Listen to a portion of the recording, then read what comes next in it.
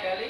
Di sini kami akan memberi sedikit tips dalam mengerjakan tugas lebih mudah untuk Microsoft Excel. Yang pertama-tama, kita masuk dalam fitur PowerPoint.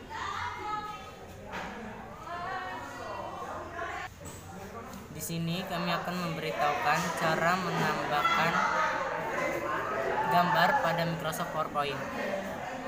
Pertama-tama kita klik insert kemudian picture, dan pilih gambar sesuka kita. Kemudian insert. Yang kedua, kami akan membuat tombol hyperlink supaya dapat kembali ke menu awal. Cara yang pertama, pilih bentuk bulat pada kanan atas.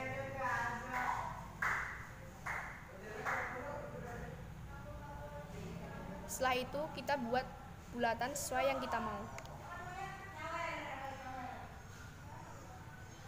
Belum tak.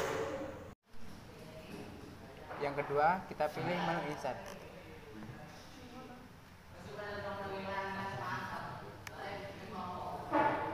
Pilih hyperlink. Setelah itu, pilih please in this document.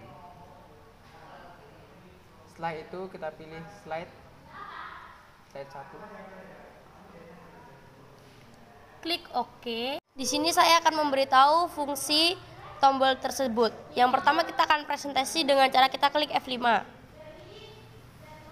Setelah itu, kita klik spasi. Fungsi dari tombol bulat itu adalah seperti ini. Kita tekan lagi, dia akan kembali ke manual. Terima kasih.